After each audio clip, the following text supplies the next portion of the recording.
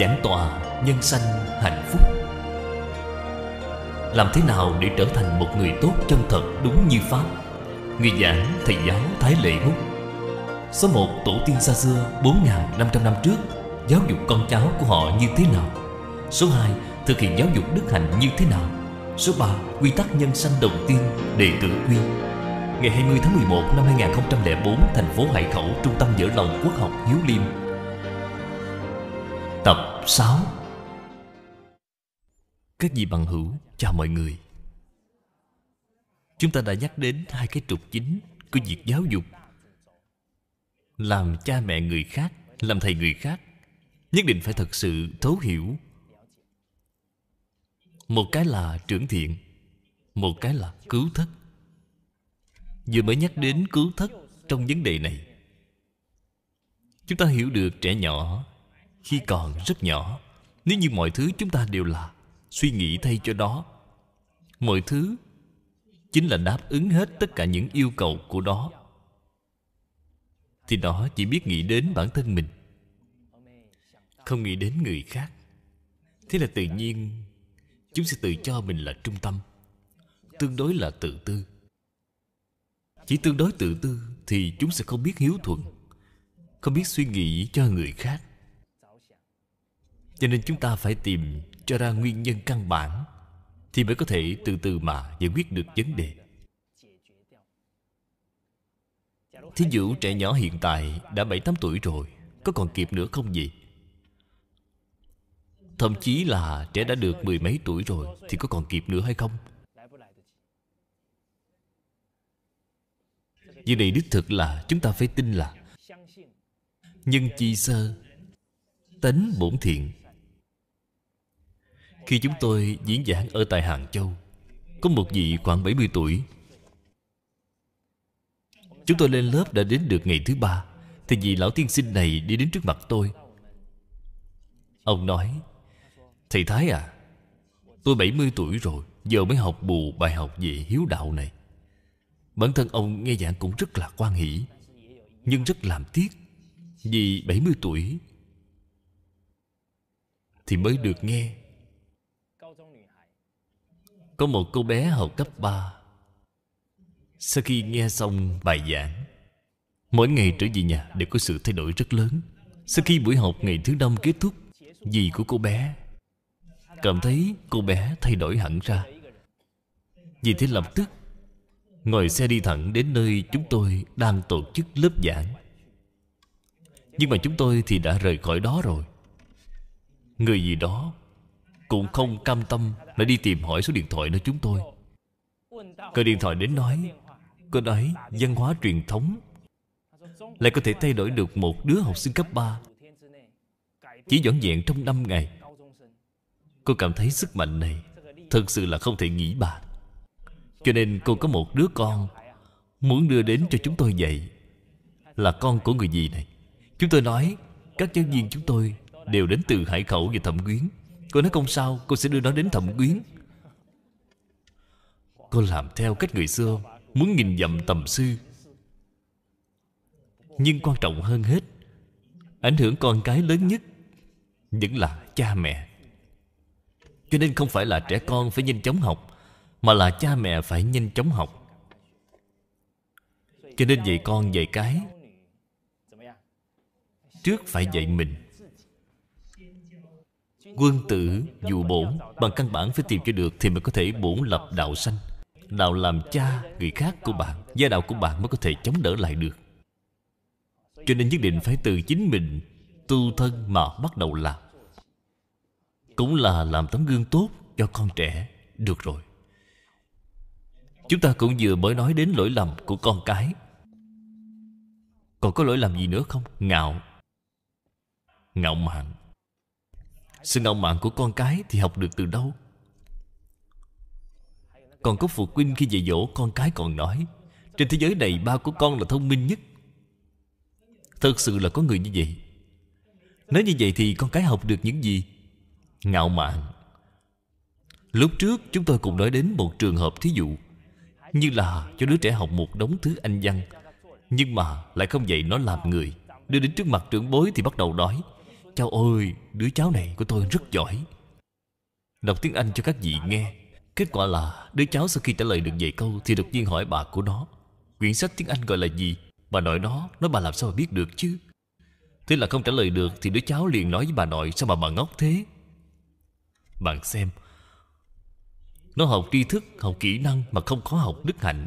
Tri thức càng cao Thì càng xem thường cha mẹ Xem thường người lớn. Cho nên các vị xem Các em học trò lớp 3, lớp 4 Đi học trở về hỏi mẹ nó một lô một hồi. Có một số khoa học thường thức Nhưng người mẹ không biết Thì chúng sẽ nói với mẹ của chúng. Mẹ à, ngay cái này mà mẹ cũng không biết nữa.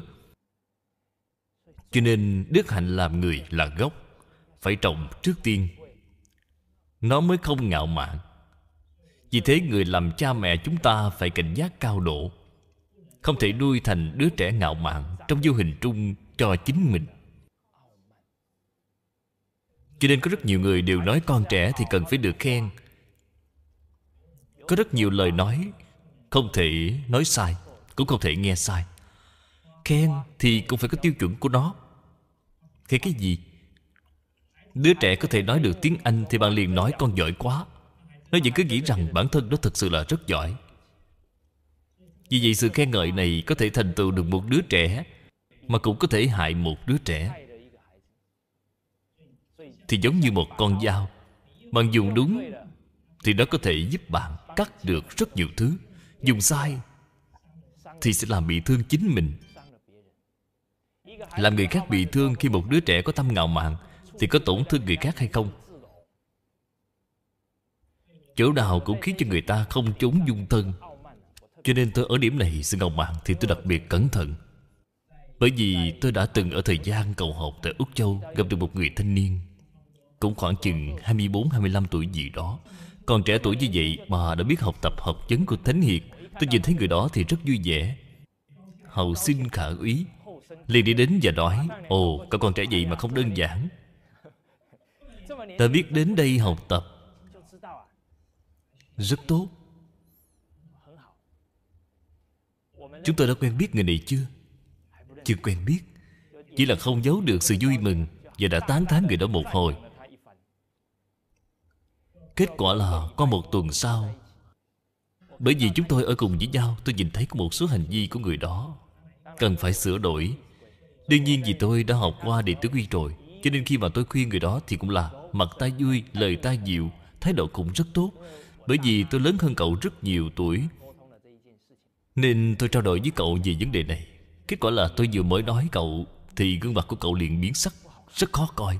Tôi liền lập tức thâu lời trở lại. Mới khuyên được một nửa Thì đã mau mau phanh trở lại. Nếu không có thể Mối quan hệ giữa đôi bên chưa hình thành Thì đã bị tổn hại mất rồi. Bởi vì người này ở trong trường học Thì thuộc về thế hệ sau. Mỗi một đàn anh đàn chị gặp cậu đều nói cậu thật là giỏi Trẻ gì mà biết học tập rồi.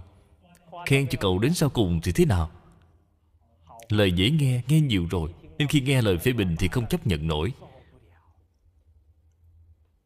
cho nên người tán thán Phải căn cứ vào đức hạnh của đó Để tán thán. Thì mới không có tác dụng phụ Mà tiêu chuẩn đức hạnh ở đâu? Tiêu chuẩn đơn giản nhất, Cương lĩnh đơn giản nhất Chính là đệ tử quy. Khi chúng tận tâm, Tận lực đối với cha mẹ của chúng, Bạn có thể nói với nó, Con hiếu thuận như vậy, biết báo ơn cha mẹ như vậy. Bởi vì việc này tương ưng với tánh đức, Cho nên chúng sẽ cảm thấy bản thân phải hiếu thuận hơn. Khi bạn đi vào trong nhà của chúng, tất cả những đồ vật đều được sắp xếp rất tốt. Đây là việc lễ kính đối với đồ vật, tâm cung kính. Bạn có thể nói với nó bằng sắp đặt như vậy, chúng tôi nhìn thấy tâm tình đều sáng khoái. Tin là bạn ở trong cuộc sống bình thường, nhất định là rất gọn gàng, ngăn nắp. Bạn căn cứ vào đức hạnh của chúng mà khen ngợi, bản thân chúng sẽ tự yêu cầu chính mình tự đề cao cho nên, việc khen ngợi cũng là một học vấn. Phải căn cứ theo đức hạnh, mà khen ngợi thì mới không có tác dụng phụ to lớn.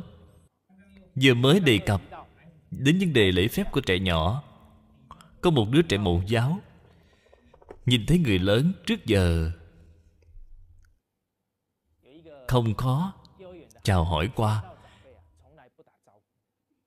Thế nhưng kinh sách thì lại học rất thuộc.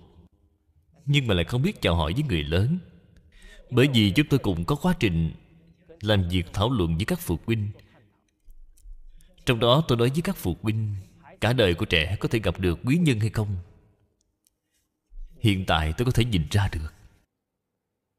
Tôi thường hay nói như vậy đối với các phụ huynh học sinh. Các phụ huynh học sinh vừa nghe xong thì họ như thế nào? Mở mắt rất to. Chăm chú lắng nghe. Người hiện tại rất là hiện thực. Chỉ cần nói điều gì có lợi Thì họ lập tức chăm chú ngay. Tôi nói trẻ con, Có thể gặp được quý nhân hay không? Tuyệt đối không phải khi nó tốt nghiệp đại học, Thì bạn mới chạy đến trước tượng quan Thế Âm Bồ Tát Rồi nói, Bồ Tát ơi, con của con nó sắp tốt nghiệp đại học rồi, Xin Ngài hãy giúp nó tìm được một công việc tốt, Giúp cho nó tìm được một cấp trên tốt. Mỗi ngày đều đi cầu khẩn như vậy, Có tác dụng gì không?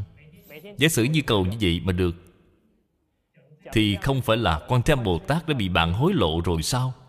Vì Ngài còn có làm thánh nhân nữa sao? Cho nên làm như vậy Là không như Pháp. Làm thế nào mới là mấu chốt Để con cái cả đời có thể gặp được quý nhân? Bạn phải tìm cho ra. Chính là sự lễ phép của con cái. Lễ phép đối với người lớn, Cung kính đối với người lớn. Khi chúng có thái độ như vậy, Người khác khi nhìn thấy sẽ cảm thấy người trẻ này thực sự có khác biệt. Bởi vì nó có sự cung kính Thì sẽ có thái độ tiếp nhận, chỉ dạy. Trưởng bối nói với nó những gì Nó đều lập tức mỉm cười, gật đầu. Cảm ơn các vị hôm nay đã nói với tôi điều này. Việc này giúp ích rất lớn đối với công việc của tôi. Nó càng cung kính Những người có trí huệ này Những người có kinh nghiệm Sẽ sẵn lòng đề bạc nó. Cho nên việc lễ phép này Đối với đó cuộc đời này có thể gặp được danh sư hay không Gặp được quý nhân hay không là một mấu chốt. Bản thân tôi cũng chính là Đạt được lợi ích từ việc lễ phép này. Bởi vì cha mẹ đã dạy, Chỗ lợi ích của việc lễ phép thì quá nhiều. Vì sao tôi lấy ra rất nhiều thí dụ, Đều là có mối liên hệ trực tiếp với việc lễ phép. Sau khi tôi nói như vậy xong, Thì vị phụ huynh học sinh này trở về. Tôi cũng không biết đã xảy ra chuyện gì. Cách sau đó một ngày thì đứa trẻ này lại đến trường mẫu giáo. Còn cách giáo viên khoảng 3 mét thì đã nói, Con chào cô Thiệu ạ. À. Vì giáo viên này vẫn còn chưa hiểu ra chuyện gì. Đứa trẻ này rõ ràng là vừa mới chào mình, Vẫn còn chưa hiểu ra chuyện gì. Đột nhiên trong đầu nghĩ đến, Đứa trẻ này tối hôm qua chắc là không có tập đàn piano. Nhất định là cũng không có luyện anh văn. Vì tối hôm qua nó luyện cái gì? Luyện cúi đầu. Luyện lễ phép. Cho nên đứa trẻ rất nhiều hành vi đều không phải là vấn đề của chúng. Vậy là vấn đề của ai? Là cha mẹ có coi trọng những vấn đề dạy bảo này hay không? Kỳ thực trẻ con còn nhỏ như vậy, rất dễ dạy.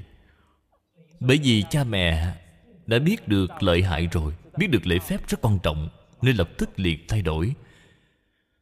Cho nên rất nhiều phụ huynh đều nói đứa trẻ của họ từ nhỏ thì đã không biết hỏi người lớn. Đó là bởi vì họ vẫn chưa cảnh giác đến tầm quan trọng của lễ phép Đối với cuộc đời của nó.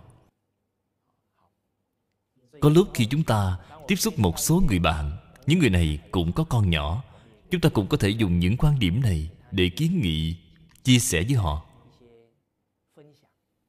Rất có thể sẽ thay đổi được thái độ giáo dục con cái của họ.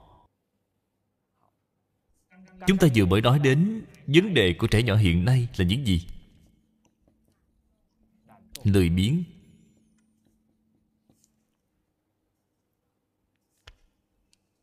Có đứa trẻ, Một hai tuổi nào mà chúng cảm thấy Nó lười biếng hay không? Có hay không gì Nó cứ chạy nhảy tung tăng. Tôi còn nhớ đứa cháu của tôi Khi chị hơn hai tuổi. Đúng lúc có một ngày mẹ nó đang lau bàn. Nhưng chỉ mới lau được một nửa thì mẹ của nó đã đi làm việc khác đúng lúc đó, đứa trẻ đi đến thì nó bắt đầu lao. Bởi vì năng lực mạnh nhất của trẻ là bắt chước. Bạn mà cần cù, trẻ sẽ bắt chước bạn. Nhưng mà cha mẹ cần cù, không chắc sẽ có thể dạy ra được con cái cần cù. Vẫn phải có phương pháp dạy đúng.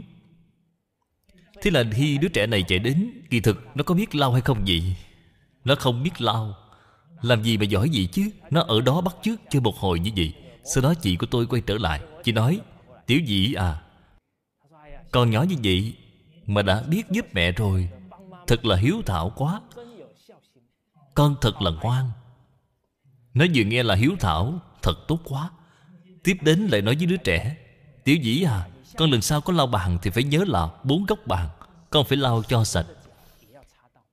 Nếu như bốn góc bàn mà cũng lau cho được sạch, Ồ, vậy thì việc con lau bàn đã làm được rất tốt. Được một trăm điểm. Đứa trẻ này nhớ được những gì? Ghi nhớ được phương pháp làm việc, Đồng thời cũng khẳng định được tâm hiếu của nó. Cho nên cùng lúc nó học được hiếu Mà cũng học được làm việc. Vì vậy trẻ nhỏ trong bất kỳ tình huống nào Cũng đều có thể là cơ hội để cho bạn dạy dỗ nó. Giả như lúc đó mà người mẹ chạy đến, Ôi trời, con còn nhỏ đừng có quậy nữa, Tránh ra để cho mẹ lau. Bà cứ dùng tay rồi đẩy nó như vậy Hai lần rồi ba lần. Sau này nó còn còn như vậy nữa không? Sẽ không đến giúp đỡ nữa. Thậm chí còn có phụ huynh nói, Con chỉ cần học hành cho tốt là được rồi. Tất cả những việc khác không cần phải lo. Câu nói việc khác không cần phải lo này. Đã đẩy đứa trẻ đi đến đâu vậy? Cho nên các vị xem hiện tại có rất nhiều người vợ. Không hài lòng đối với chồng của mình. Thường hay nói, Thói quen cuộc sống của người chồng rất tệ. Tôi thường nói về chuyện này với các cô vợ. Tôi nói các vị đừng trách chồng. Bởi vì những thói quen này từ nhỏ, Họ đã không tự mình xử lý.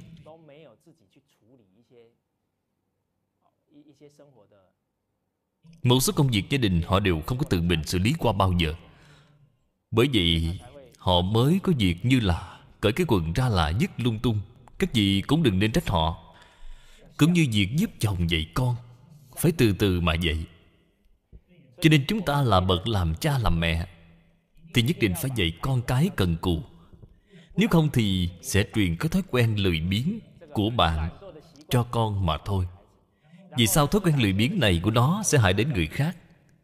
Cho nên việc đó thì không thể nào làm được.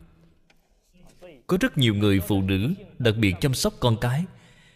Thế là không để cho con cái Làm một việc gì cả. Nhưng mà người đó lại thường hay trách móc rằng Chồng của mình rất lười.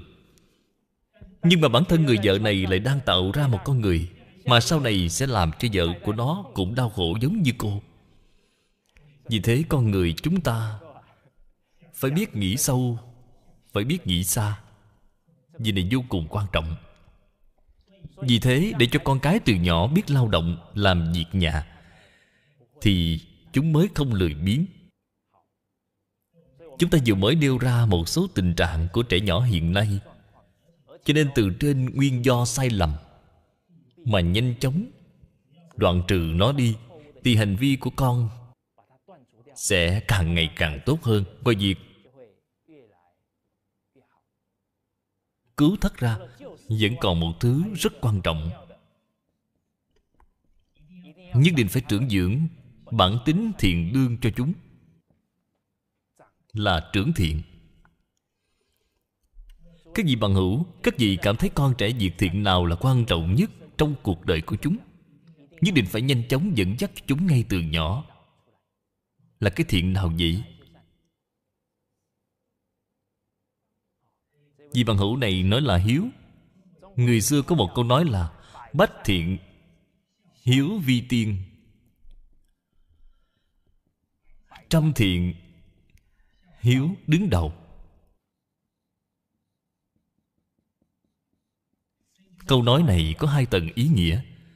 Tầng ý nghĩa thứ nhất Nghĩa là hiếu đứng đầu Trong trăm điều thiện.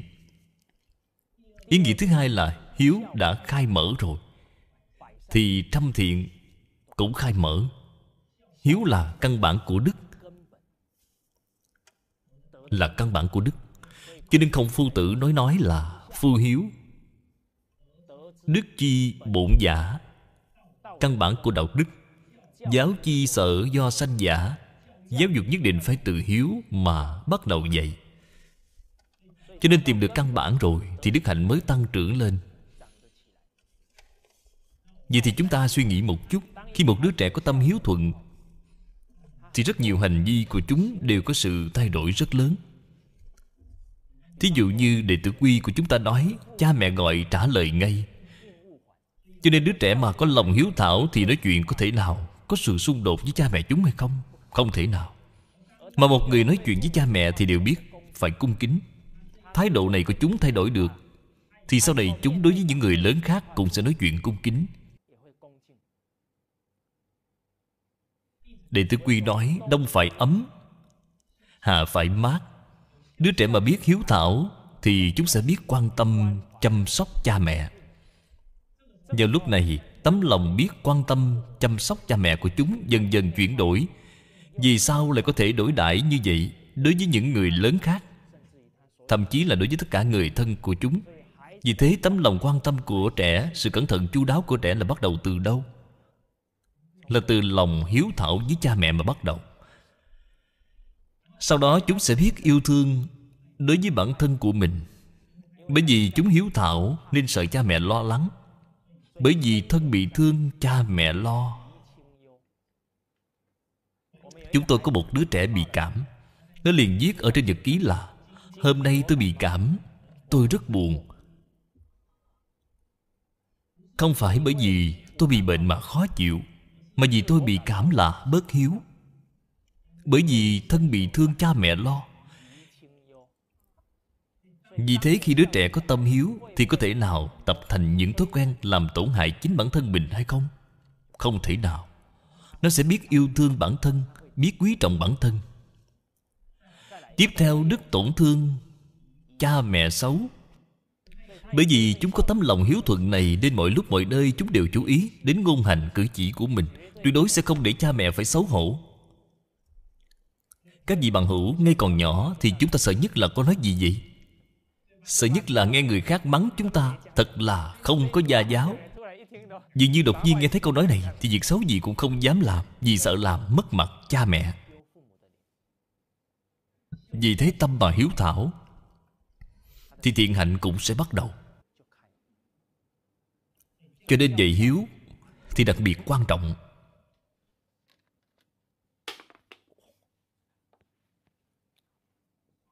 Hiếu không thể không dạy. Tôi thường nói hiếu thảo có rất nhiều tác dụng.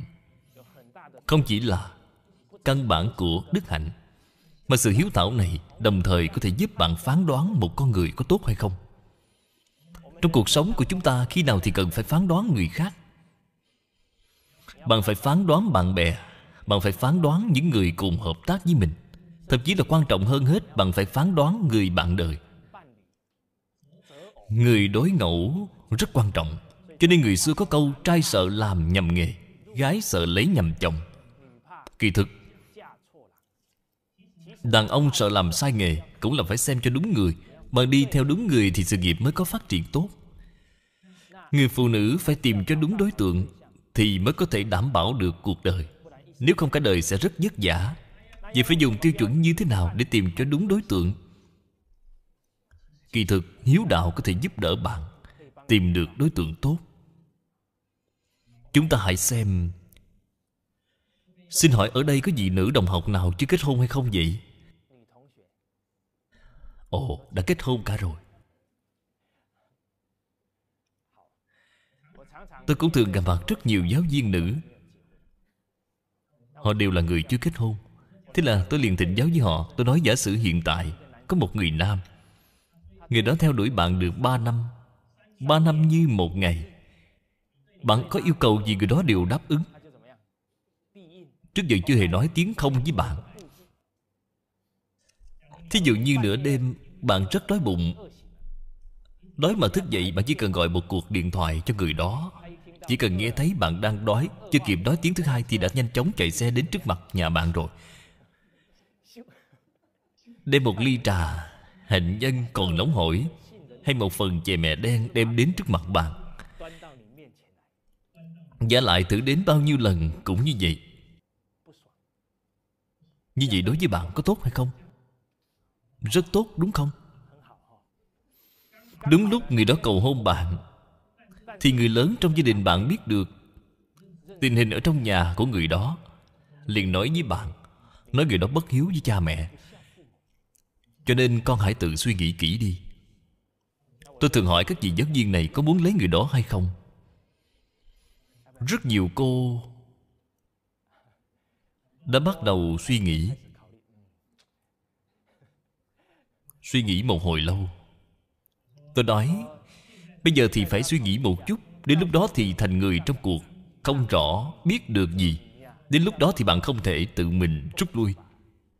Hiện giờ thì phải xác lập cho tốt Cái lý trí chính xác. Thì mới được. Hôm đó cũng có một vị nữ giáo viên. Cô rất thích xem những loại sách xưa, Đặc biệt là xem nhiều lần quyển nhị thập ngũ sử. Cho nên sau khi tôi hỏi Thì cô liền nói sẽ không lấy. Tôi nói, tại vì sao? Bạn lại nói quả quyết như vậy? Cô nói, Người với cha mẹ mà cũng không đối xử tốt Thì đối với người khác làm gì tốt được chứ? Đây là có lý trí, Có sức phán đoán. Bởi vì người mà không có tâm hiếu hạnh Thì cả đời họ có một thái độ là nhân sinh quan, Không thể tăng trưởng. Nghĩa là có một thái độ thiếu tình nghĩa, Thiếu ân nghĩa. Mà thiếu tình nghĩa, thiếu ân nghĩa. Thì điều tốt không thể tăng trưởng Mà sẽ tăng trưởng điều gì? Có ai nói là không tăng tốt Mà cũng không tăng xấu hay không? Làm gì mà có chuyện đó chứ? Điều tốt mà không học được Thì nhất định là đã học điều xấu rồi. Vì thế cuộc đời người đó mà có thái độ không biết tình nghĩa hay ân nghĩa Thì sinh khởi ra điều gì? Lợi Và hại các vị bằng hữu? Bây giờ chúng ta suy nghĩ một chút, Hiện tại thế hệ sau giá trị quan là cái gì? Lợi hại. Khi xuất hiện một người nào đó cản trở điều lợi cho họ, Thì họ sẽ như thế nào? Bất luận đó là vợ hay là cha mẹ Thì cũng rất đáng sợ. Vậy mà vì sao lại có thể bền gan vững chí Ba năm vẫn như một ngày Để theo đuổi bạn? Bởi vì người đó nhìn thấy bạn trẻ tuổi, xinh đẹp. Giá lại công việc cũng rất ổn định. Sau khi xem xét tất cả điều kiện, Ồ, cũng không tệ. Có cái lợi để giành lấy. Người đó liền ra sức. Toàn lực. Cho nên tôi nói nhìn người Phải biết nhìn cho sâu một chút. Bạn xem thấy một người nam rất cần cù. Bạn liền nói, ồ, thật tốt. Cần cù nhất định là tốt hay không? Bạn phải xét rõ họ cần cù vì cái phương hướng gì rất nhiều người phương hướng cần cù Không phải là vì phụng dưỡng cha mẹ Mà là vì danh của họ Vì lợi của họ. Một vị bằng hữu Chồng của cô phải sống Ở một nơi khác để làm việc. Vừa trở về nhà Không phải đi thăm cha mẹ trước tiên.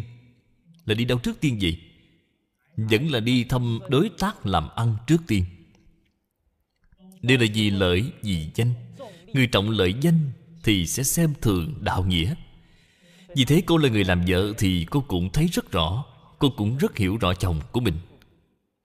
Điều đầu tiên không phải là vì cha mẹ, cũng không phải là vì vợ con, mà là vì việc làm ăn. Như thế thì người vợ đó cảm thấy vui lòng hay không? Đúng vậy. Cho nên còn phải xem động cơ của họ. Phải xem cho rõ ràng, động cơ của họ giả sử chỉ là vì lợi mà thôi. Cái lợi đó không đáng tin khi bạn đã thật sự lấy người đó rồi Sau ba năm bạn sinh cho người đó một đứa con? Thế thì mang thai cũng vậy, Nuôi con thì cũng vậy. Người vất vả nhất vẫn là người nữ. Vì vất vả mà mặt mày Cũng đã nhăn nheo hơn. Thế là trong công việc, Lại gặp được một cô nào đó xinh đẹp hơn bạn. Bạn từ lợi lại biến thành hại. Mà hại thì phải làm sao? Hại thì trừ tận gốc vì này thật sự là Quá tàn nhẫn. Phải diệt trừ. Các vị bằng hữu, Chúng ta từ lúc bắt đầu đến bây giờ, Có người nào đã làm việc Thương thiên hại lý đến như vậy không? Có không? Có. Mỗi ngày số người ly hôn Không biết bao nhiêu mà kể. Danh lợi là mờ mắt. Khi một người nam dục vọng đã giấy khởi thì trí huệ không còn nữa. Liền quên đi tình nghĩa ân tình của người vợ đối với họ rồi. Họ sẽ làm ra những việc mà cả cuộc đời không có cách nào cứu vãn nổi.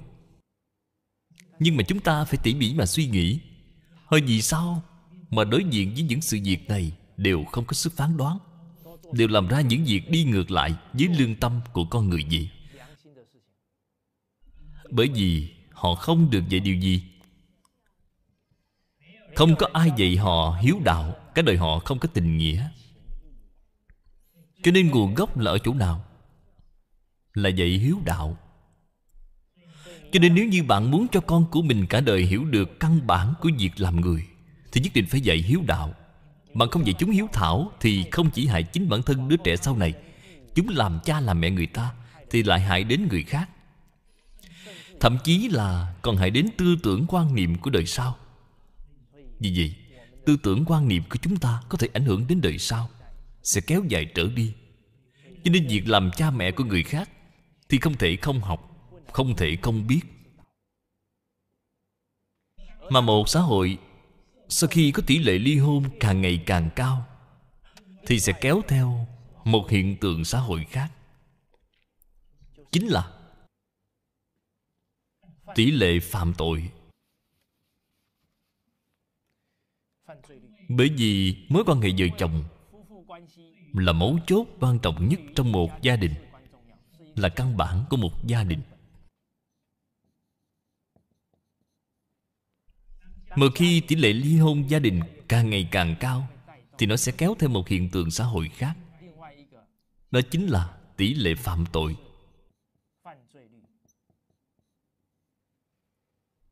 Vì này tôi đã đi làm một chứng thực. Chúng tôi có đi thịnh giáo với vị Trưởng giám ngục. Những thanh niên bị nhốt vào trong lao ngục Đều là Có hoàn cảnh gia đình như thế nào gì Ông nói 89 phần 10 Đều là từ những gia đình không đầm ấm. Bởi vì trong gia đình đã xảy ra vấn đề Thì càng không thể nào cho chúng được sự giáo dục tốt. Vì thế, căn bản làm người, Làm việc của đứa trẻ đều rất kém cỏi. Mà xã hội này lại rất nhiễm bẩn. Vừa bước ra thì rất có thể bị cái môi trường này dẫn dắt đi vào con đường lầm lạc, cho nên tỷ lệ ly hôn sẽ kéo theo tỷ lệ phạm tội.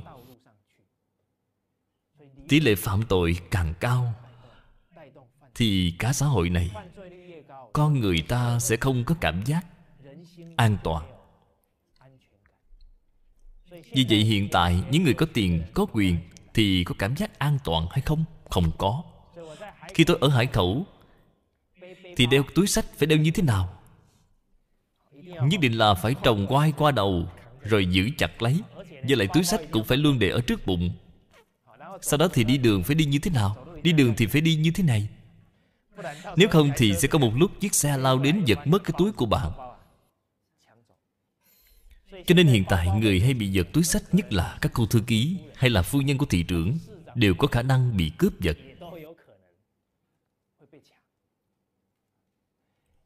Cho nên tỷ lệ phạm tội sẽ khiến cho cả xã hội đều cảm thấy không an định. Vì thế tỷ lệ phạm tội mà muốn thấp thì cần phải dạy những gì? Dạy đức hạnh cho trẻ, dạy trẻ biết hiếu đạo. Có thể khiến cho tỷ lệ ly hôn giảm thấp. Có thể giảm bớt tỷ lệ ly hôn, cũng cần phải dạy trẻ cái gì? Hiếu đạo và đức hạnh. Đây mới là căn bản để giải quyết vấn đề. Vì vậy hiện tại rất nhiều đất nước phương Tây Nhìn thấy tỷ lệ ly hôn càng ngày càng cao như vậy. Thì liền bỏ ra những khoản tiền rất lớn. Để cho những người sắp kết hôn này được trải qua một khóa trình học tập. Sau khi trải qua khóa trình mấy ngày như vậy thì có thể được đi kết hôn. Chỉ mấy ngày như vậy thì có thể có được hiệu quả to lớn hay không? Không dễ. Tuy là họ thật sự là có tâm. Nhưng mà nếu một con người mà có ân nghĩa, có đạo nghĩa thì họ có tìm được căn bản hay không? Căn bản của đức hạnh ở đâu? ở hiếu. vì thế tôi cũng thường hay nói với các đồng nghiệp của chúng tôi. Tôi nói việc thúc đẩy văn hóa truyền thống Tuyệt đối không phải chỉ vì người của đất nước chúng ta Mà phải vì người ở trên toàn thế giới Mà cống hiến những trí huệ và văn hóa tốt đẹp này. Như vậy thì mới có thể thật sự quá giải Những vấn đề giáo dục cho thế hệ sau. Mới có thể chân thật quá giải được sự xung đột giữa con người với nhau. Cho nên chúng ta phải có cái sứ mạng này. Đương nhiên, nếu muốn dạy người khác Thì trước tiên phải như thế nào? Trước tiên bản thân phải học cho tốt. Bạn học tốt rồi thì mọi người sẽ tự nhiên Tìm đến chỗ của bạn để học tập. Chúng ta xem thấy thời nhà Hán và thời nhà Đường. Biết bao nhiêu quốc gia đến học tập. Có phải là chúng ta đem bản hiệu đi đến Hàn Quốc để chiêu sinh hay không? Có hay không? Đương nhiên không có làm cái việc như vậy rồi. Điều là vì gia đình và xã hội rất tốt đẹp. Người nước ngoài tự tìm đến học tập. Cho nên chúng ta có trách nhiệm Trước tiên từ chính mình mà bắt đầu làm. Tiến thêm bước nữa có thể ảnh hưởng đến nhân tâm Và đức hạnh của con người trên toàn thế giới. Vì vậy dạy hiếu Là một công việc quan trọng nhất Trong tất cả những điều thiện. Vậy thì chúng ta bây giờ hãy suy nghĩ một chút Là phải dạy hiếu như thế nào? Biết được hiếu là tốt, Phải bắt đầu áp dụng Mà dạy cho con cái. Hiếu phải dạy như thế nào?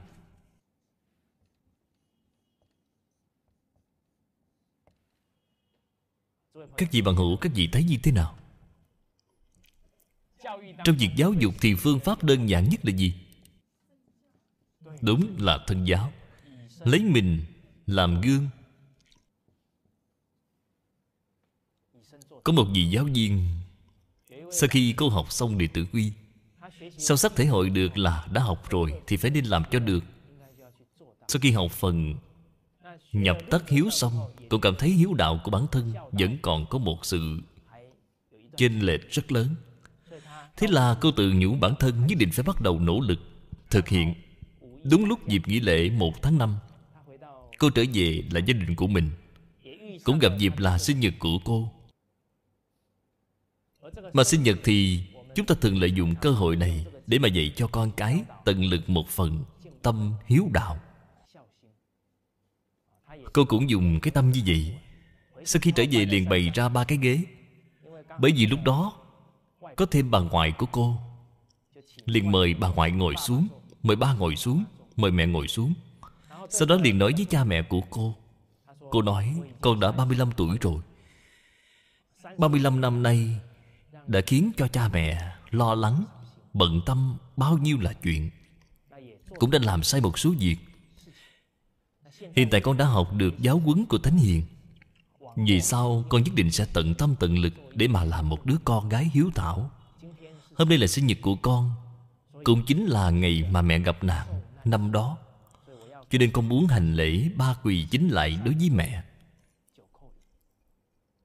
Sau khi nói xong thì liền lại xuống. Khi vừa lại một lại đầu tiên xuống, Thì mẹ của cô đã rơi nước mắt. Đến khi lại xuống lần thứ hai, Con của cô đứng bên cạnh nhìn thấy. Bất giác không tự chủ Cũng đi đến bên cạnh cha của mình Mà bắt đầu giúp đấm bóp cho cha. Các vị xem, Chúng ta có nói một câu nào Đối với đứa trẻ này hay không? Đều không nói gì. Mà đứa trẻ chỉ nhìn thấy mẹ của mình lại mẹ của mẹ. Đang hành hiếu đạo. Sức mạnh của loại đức hạnh đó Trong vô hình trung Đã tạo ra xúc cảm rất lớn. Vì thế nó không thể tự chủ, liền cảm thấy tự mình giống như Nếu không làm gì đó Thì có vẻ như không được bình thường cho lắm. Cho nên liền đi giúp cha đấm bóp. Kết quả sau đó Trở về nhà của mình, Vừa lao nhà.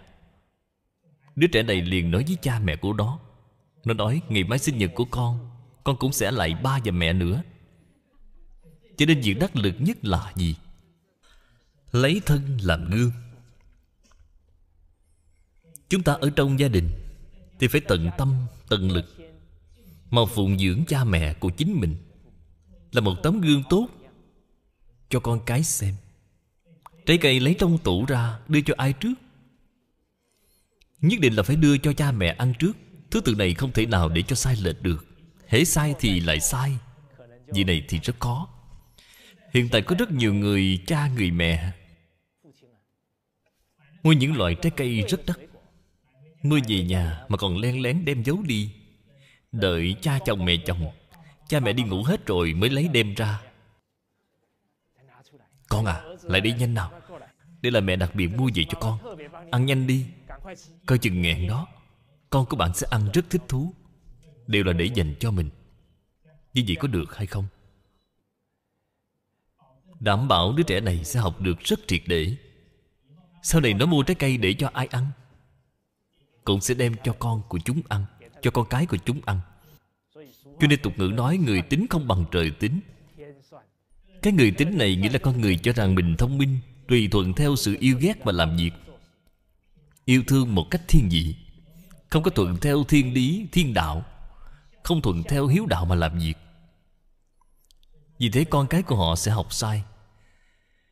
Cho nên sau khi chúng ta chân thật lấy thân làm gương Thì con cái sẽ hiểu được Phải hiếu thuận cha mẹ như thế nào. Mấu chốt đầu tiên nhất định phải lấy thân làm gương. Phương pháp dạy hiếu thứ hai Là nhất định phải Thân sư hợp tác. Nghĩa là cha mẹ Và thầy cô Phải phối hợp Mật thiết, Phối hợp mật thiết. Trong đệ tử quy có nói đến,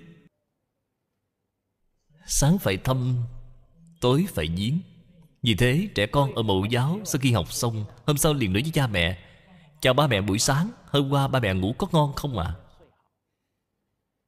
Giống như người cha người mẹ này Sau khi nghe xong rồi Sờ đầu nó Mà nói hôm nay con bị làm sao vậy? Vậy thì sẽ như thế nào? Hiện nay có rất nhiều cha mẹ rất thích nói đùa Vì nói đùa này Cũng không thể nào Được tùy tiện. Khi một đứa trẻ ra vẻ trang nghiêm như vậy Cung kính như vậy Để vấn an bạn Thì bạn phải làm như thế nào? Bạn phải thành toàn tâm hiếu cho nó. Con thật là ngoan, ngoan quá. Một đứa trẻ ngoan bạn không thể nào lại đi sờ trán của nó, Rồi hỏi, con có bị bệnh không vậy? Cho nên nhất định phải phối hợp với thầy cô để mà dạy. Thì như vậy, đứa trẻ sẽ tiếp tục làm mà rất quan hỷ, Từ từ rồi trở thành một thói quen một cách tự nhiên. Rất nhiều đứa trẻ đến lớp học của chúng tôi. Như đứa trẻ thường xuyên đến lớp, Thì chúng tôi sẽ hỏi chúng trong tuần này, Các em đã làm được những việc tốt gì? Làm được hiếu hạnh gì? Các em sẽ nói, Con giúp mẹ rửa chén có biết mang nước cho mẹ rửa chân. Nêu ra rất nhiều những ví dụ Mà các em đã nỗ lực thực hành hiếu đạo. Lúc đó có một bé chừng 2-3 tuổi. Sau khi đi học ở lớp xong trở về Là chạy về, Chạy vào nhà tắm. Mẹ có đứa bé. Có thể cảm nhận được con mình muốn tìm gì. Biết nó nhất định là đi tìm một cái thau để đựng nước rửa chân. Thế là đi đến trước mặt đứa trẻ. Đem những thứ đó giấu đi bạn đoán xem trong lòng người mẹ này suy nghĩ điều gì? Trong lòng cô nhất định phải nghĩ là Đợi chút nữa thì sẽ bị con làm hỏng mất. Như vậy thì mệt lắm. Cho nên đem cất trước, Sau đó tôi mới nói với cô, Tôi nói, Cô như vậy thì không đúng, Bởi vì cô không có thành toàn tâm hiếu cho con của mình. Nếu nó đi lấy nước để rửa chân, Khi bạn rửa chân Thì bạn thấy rất quan hỷ Sau đó thì ghi nhận, thì khích lệ nó như vậy tâm hiếu của nó có thể tăng trưởng thêm. Bây giờ bạn lại không cho nó đi lấy nước cho bạn rửa, Vậy thì tâm hiếu của nó sẽ không tăng trưởng. Tâm thiện của con người cũng giống như một cọng cỏ nhỏ. Bạn mỗi ngày đều tưới tắm Thì nó sẽ từ từ mà đâm chồi. Người mẹ lại nói, Cứ để như vậy, Nếu nó làm hỏng đồ thì làm sao? Tôi nói, nếu hỏng thì càng tốt. Cô ngẩn người ra, Làm sao lại hư hỏng đồ đạc mà lại càng tốt? Tôi nói, sau khi nó làm hư hỏng đồ đạc Thì cô hãy nói với nó, Tiểu Minh à Mẹ cảm nhận được tấm lòng hiếu thảo của con. Nhưng mà việc lấy nước thì cũng phải có phương pháp của nó. Con có biết hôm nay Bởi vì sao mà con lại làm đổ nước hay không? Đó là hai tay của con bưng nước không có thăng bằng. Cho nên lần sau khi bưng nước Thì phải chú ý những việc nào. Bạn liền có thể dạy cho đó Cho nên đồng thời học cách làm người, Đồng thời cũng học được cách làm việc. Rất nhiều người mẹ sợ con làm hỏng việc. Kỳ thực khi chúng làm hỏng việc rồi, Thì phải luôn luôn nắm lấy cơ hội này Để dạy chúng phương pháp làm việc, Hướng dẫn chúng làm người Làm việc cho chính xác. Vì vậy, thái độ giáo dục Và độ nhạy cảm của người mẹ là rất quan trọng. Có một người mẹ rất có trí huệ, Con của cô mang nước cho cô rửa chân. Cô đều rất là quan hỷ. Cô nói, Cô đã điều chỉnh máy nước nóng xuống nhiệt độ thấp nhất. Sau đó để cho đứa trẻ mang nước trong một tuần, sau đó lại từ từ điều chỉnh nhiệt độ trở lại. Vì thế cô nói cô đã phải ngâm chân trong nước lạnh suốt một tuần. Người mẹ này rất có trí huệ. Để được một tuần, đứa con của cô đã hình thành được khả năng đi lấy nước rồi. Thì cô mới dần dần điều chỉnh cho trở lại bình thường. Nhất định phải phối hợp với giáo viên mà, dạy dỗ. Để thành tựu, thành toàn, hiếu hạnh cho con trẻ. Cho nên chúng tôi yêu cầu khi đến lớp học, phụ huynh nên cùng đến ngồi học với con. Các em ngồi phía trước, còn phụ huynh thì ngồi ở phía sau. Để xem hôm nay công bình học được những việc hiếu hạnh gì. Khi trở về nhà, chúng có thực tiễn hay không? Cứ phối hợp như vậy, thì hành vi của các em sẽ hình thành rất nhanh. Rất nhanh có một vị giáo viên, anh nói, có một vị phụ huynh gọi điện thoại cho anh. Đúng vào lúc đang nghỉ hè. Mở đầu liền nói với vị giáo viên này, thầy trương à cảm ơn thầy. Vì sao lại cảm ơn thầy vậy? Bởi vì con gái của tôi trong thời gian nghỉ hè có tiến bộ rất là lớn. Câu nói này có quyền cơ trong đó thông thường các em bị thối lui nhiều nhất là vào lúc nào vậy? Nghỉ hè vừa hơn một tháng, chúng tôi, những người làm giáo viên, đều cảm thấy sau khi nghỉ hè xong thì cũng giống như việc kéo một con ngựa quan không có di cương trở lại vậy. Thật sự là rất vất vả, vẫn là phải mất một khoảng thời gian để chỉnh đốn lại. Thế là vị phụ huynh này lại nói là tiến bộ rất nhiều. Vị phụ huynh sau đó đã nêu ra thí dụ. Cô nói có một hôm cô đang ngủ bởi vì quá mệt nên nằm lên giường chưa đắp mền thì đã ngủ mất. Sau khi tỉnh lại thì mền đã được đắp trên người rồi. Ai đã đắp cho cô vậy? Đứa con đã đắp lên cho cô. Sau đó vừa đi ra khỏi phòng thì lại ngửi được mùi thơm của mì. Người mẹ liền phản ứng mà nói luôn, ba của con đã về rồi à. Nghĩ là chắc là do ba của nó mang về thôi thế nhưng đứa trẻ nói dạ ba vẫn chưa về. Người mẹ lại hỏi tiếp, vậy làm sao lại có mì vậy? Đứa con liền nói, là con nấu mà. Người mẹ rất là kinh ngạc, cô nói con xưa nay chưa nấu mì lần nào, sao hôm nay lại biết nấu vậy? Đứa con mới nói, con thường hay xem mẹ nấu bên này lấy một chút, bên kia lấy một chút, cho nên hôm nay con cùng nấu thử xem sao. Đứa trẻ tận một phần tâm hiếu cái gì bằng hữu tô mì đó, ăn có ngon hay không vậy? Rất ngon. Các vị làm sao mà ăn được vậy? Tô mì này là từ thâm hiếu thảo mà làm ra. Nhất định là ngon một cách đặc biệt rồi. Nhưng người mẹ nói cũng thật sự là nấu rất ngon. Bởi vì con người chỉ cần có tâm thì việc gì cũng nhất định sẽ làm tốt. Cái gì bằng hữu cô con gái này để hình thành. Một thái độ làm người, làm việc quan trọng nào vậy? Chúng ta hãy suy nghĩ xem, là tâm hiếu. Một khi có hiếu thì tất cả mọi hành vi sẽ đều có sự thay đổi. Tiếp đến còn gì nữa? Chăm lo tỉ mỉ. Đều có thể chăm lo đến tình trạng và sự cần thiết của cha mẹ. Vì thế mà biết đắp mền còn lo mẹ thức dậy không có cơm ăn. Biết đi nấu đồ ăn là quan tâm và còn thái độ làm việc thưởng thức khi cô bé thường xuyên làm những việc này giúp đỡ cho cha mẹ, thì năng lực làm việc của cô sẽ không ngừng nâng lên cao. Vì thế, tâm hiếu của đứa trẻ đã mở ra, thì rất nhiều hành vi liền có thể có sự phát triển rất tốt.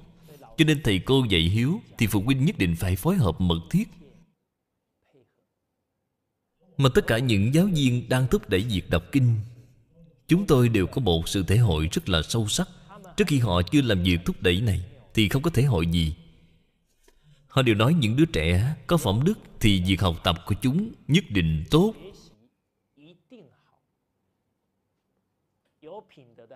Giả lại việc học tập này tuyệt đối không phải là cha mẹ cầm cây roi đứng ở bên cạnh mà đánh. Đều rất chủ động, các vị bằng hữu. Các vị có tin vào câu nói này hay không?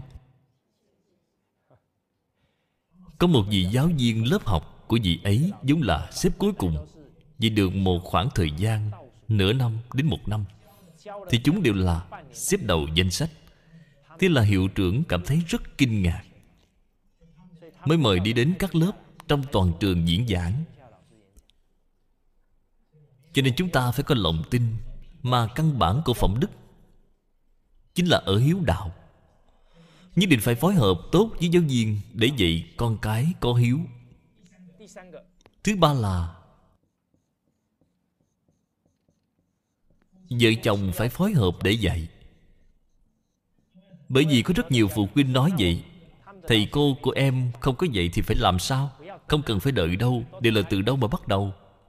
Phải từ gia đình, từ chính mình mà bắt đầu. Đương nhiên có rất nhiều phụ huynh Nếu như có nhận thức được chính xác biết được đức hạnh rất quan trọng đối với cuộc đời của con cái. Phụ huynh chỉ cần phản ảnh với hiệu trưởng nhà trường. Rất nhiều trường học sẽ bắt đầu xem trọng mà thôi. Mà vợ chồng lại có thể phối hợp với nhau, thì con cái sẽ rất dễ tăng trưởng tâm hiếu. Thí dụ như, người chồng nói với đứa con con à con có thể không cần phải hiếu thuận với ta, nhưng mà con không thể không hiếu thuận với mẹ của con. Khi nói những câu này thì phải thật đúng điểm yếu. Giả sử người làm cha mà nói chuyện lại còn rơi nước mắt, vậy thì con cái của bạn cũng sẽ nghe mà thấy cảm động. Bạn phải nói với con cái, mẹ của con, khi bàn tay con đã ói rất nhiều, cơm cũng không thể nào ăn được. Khi có thai phải mang cái bụng nặng nề như vậy, Con xem con nặng bao nhiêu ký, Mẹ của con ngày ngày không oán không hờn ai, Vẫn cứ đi làm. Sau đó việc sinh con ra cũng vất vả biết bao nhiêu, Sau khi sinh ra thì chăm sóc cho con từng ly từng tí. Lần nào mà con bị bệnh, Thì dường như mẹ con cũng hai ba ngày không ngủ. Đem những tình trạng thật sự để mà kể lại cho chúng nghe. Bởi vì con người đều hay mau quên. Bạn nhắc nhở lại với chúng Thì cái tâm biết ơn đó liền khởi lên. Biết ơn thì có thể báo ân. Vì thế con cái mới có thể lãnh hội được Cái ân đức của người mẹ. Ngoài ra giả sử Người vợ cũng nói với con cái, Con có thể không cần phải có hiếu thuận với mẹ cũng được, Nhưng mà con không thể không có hiếu với cha của con.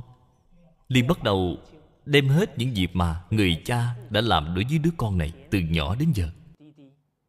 Kể cho nó nghe, Thì đứa trẻ mới có thể lãnh hội được cái ân đức của người cha.